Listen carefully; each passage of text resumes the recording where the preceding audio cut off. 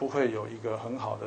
一个呃决议出来，可能要留在明年啊，才可能会有一个新的是呃这个决议。哇，这个李教授这一点其实给我很多心得啊，这里面讲的呃，我觉得相当好。这个里面包括有些国家为了历史责任，有的是是因为生活需求，那么造成呢各自的这个不管是你的义务或责任，或者产生中间的斤斤计较。我想还有很多细节，国家到里面到底有什么样的自己的利益在里面，我们待会呢再进行讨论。先进一段广告。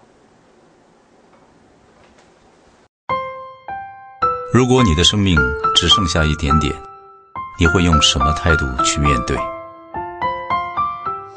是嘉文，我今年十五岁。医生说我只剩下一点点的时间，可是我好想活着，因为我好热爱我的生命。我是易华，我今年十三岁。我曾经是花式滑冰亚洲冠军，但医生说我得了骨癌。我想努力活着，因为我热爱生命。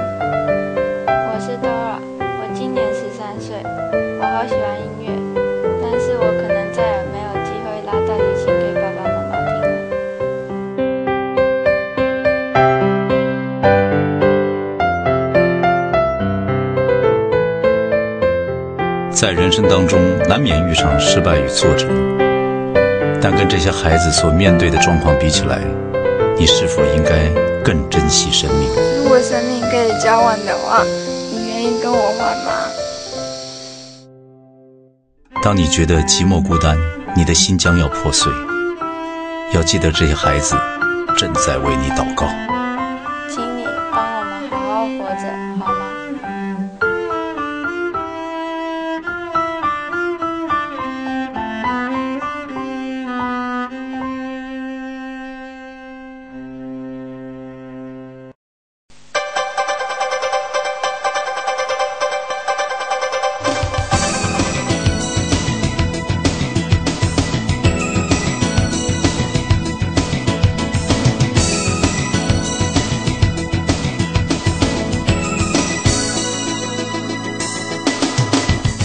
欢迎各位观众回到我们《醒报》现场。那么我是主持人聂彦忠。刚才呢，我们对哥本哈根里面的会议的内容大概稍微提了一下。那么很清楚，它跟我们这个节能减碳呢有所关系。因为呢，我们要在京都议定书快到期之后啊，我们要有新的一个对整个世界要把关哈，这个人环环境啊把关的一个一个这个所谓限制这个整个世界排放量的这个。啊，会议啊，必须呢要做的很扎实。不过，刚才李教授呢刚从这个哥本哈根回来，提到了一个比较有趣的问题是，各国啊，这个为了自己利益会斤斤计较。这个时候呢，又听到一个很震撼的，就是我们都知道世界最大啊，现在应该说排碳量最大两个国家，中国和美国。哎，在这之前并没有嘛哈。那这一次呢，美国好像有奥巴马有这样的一个兴趣了。哎，这个我觉得就很重要了哈。不过你知道，前之前有部电影叫《黑金迷情》啊，我不知道大家看过没有？这部电影太棒了。他就在形容，最后很像就是这样的一个概念。中国最后 agree，但是美国还是 say no。那这个呢，都是为了自己的利益。美国到底为什么之前不加入？又这次到底会不会加入？不知道谁能够对这样的有点判定。比如美国为什么之前不加入？您谁能说一下？好，是呃，我想这个针对主持人这个问题哈，其实是大家也很关心哈。那因为美国当时其实在一九九七年。的时候啊，那么是由美国来促成这个京都议定书。那时候的副总统就是高尔。那他促成了以后，那么到了这个两千年政党轮替了，那由这个美国的新的总统，那么他开始重新思考这个问题。他发现两个问题，一个是当时在京都议定书所承诺的美国要减六个 percent，相对于一九九零年要在排放量要再减六个 percent，他觉得应该七个 percent 六个 percent，他觉得。这个经过估算以后，对它的经济冲击很大，所以他开始在慎重思考这个问题。第二个，他觉得这个温室气排放呢是一个全球性的议题，如果只有光我美国这样减，而且遭受一个很大的一个经济冲击，那特别是像中国大陆、印度这个新兴的国家，他们排放量很大，如果没有没有去做这个减量的一个呃责任的话，他觉得问题还是没办法解决，所以从所以，因此呢，就基于这两点理由，所以他就决定不批准，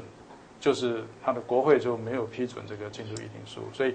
美美国就没有变成京都议定书的一个缔约国一个会员。这样子啊？哎，那陈主席，你觉得那上次那次，如果是照你就要这样讲的话，美国没批准，那其他的国家，呃，最开始只有美国吗？那在其他的国家呢？刚刚到我刚刚讲啊，刚刚跟各位报告是一九九七到二零零九嘛，哈，总共有一百八十三个国家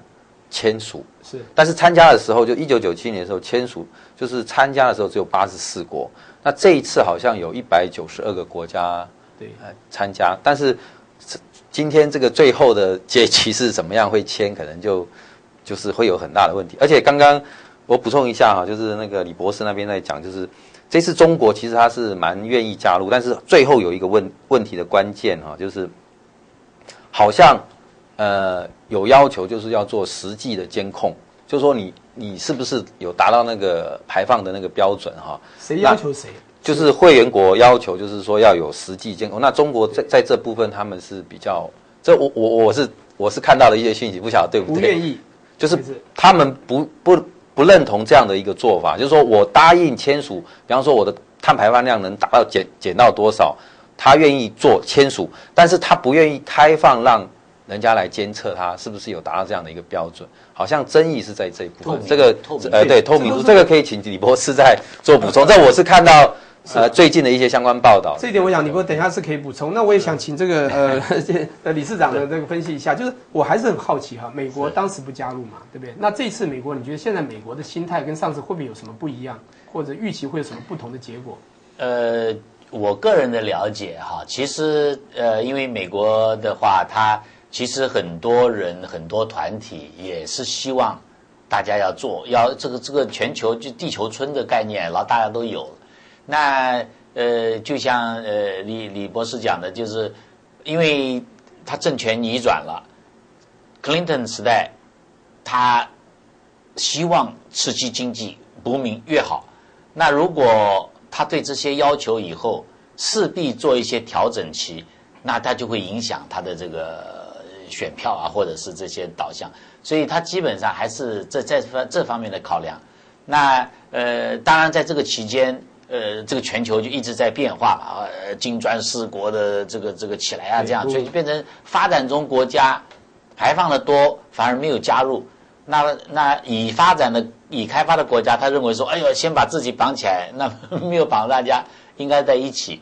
呃，就会这样。那所以这个东西其实有很复杂的讲法。美国基本上，他国内的民众他还很想，就说要要好好的做，而且大家的这个呃对这方面的期许也很高，呃是这样子。那呃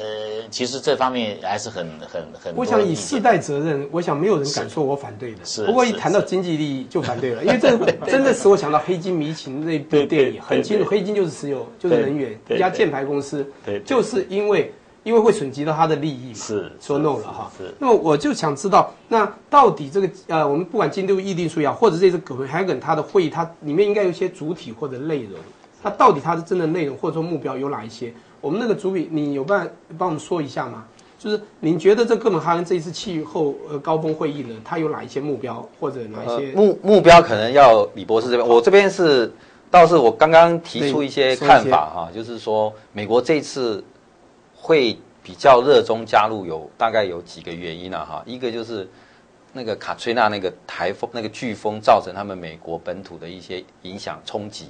所以他们在整个考量上面，包括国内的一些舆情哈，那他势必要做这样的一个表态。另外就是我我们刚刚讲，就一九九七年的时候，中国并没有进来的时候，他有理由可以讲说，现在现在中国大陆这个汽车的成长已经超过它了嘛。对对对对。那他他有理由是说，哎，你你最大的一个排排碳的国家你都不不支持的时候，那我美国也有也有也有理由说我不加入嘛。那但是现在假如这两个因素都排除的时候，应该照理来讲，美国呃这一次会比较热衷的原因是在这里。是，所以这一次美国比较热衷，是不是讲这一次美国真的比较热衷？好，那我想这个针对主持人这个问题，哈，呃，我想首先先谈一下这个这次会议的重点，好，到底在会议的谈重点，到底在谈什么哈？那么这次会议的重点哈，其实是在谈二零一三年到二零二零年大家的一个减量的一个责任，这是一个重点。那这个减量的责任呢，是根据有一个国际的组织叫 IPCC，就是跨政府间的专家小组，他们每每六年会提出一份科学报告，所以在在上一次的科学报告是两千零七年，他们觉得整个全球在两千一百年的时候。